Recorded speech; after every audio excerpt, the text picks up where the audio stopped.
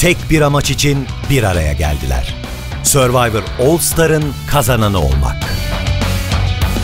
Kazanmak için onlara gereken tek şey enerji. Enerjinin kesildiği yerde Türkiye'nin enerji devi Aksa Jeneratör devreye giriyor. Hayata kaldığı yerden devam etmek isteyenler Türkiye'de pazarın açık ara lideri Aksa Jeneratörü tercih ediyor.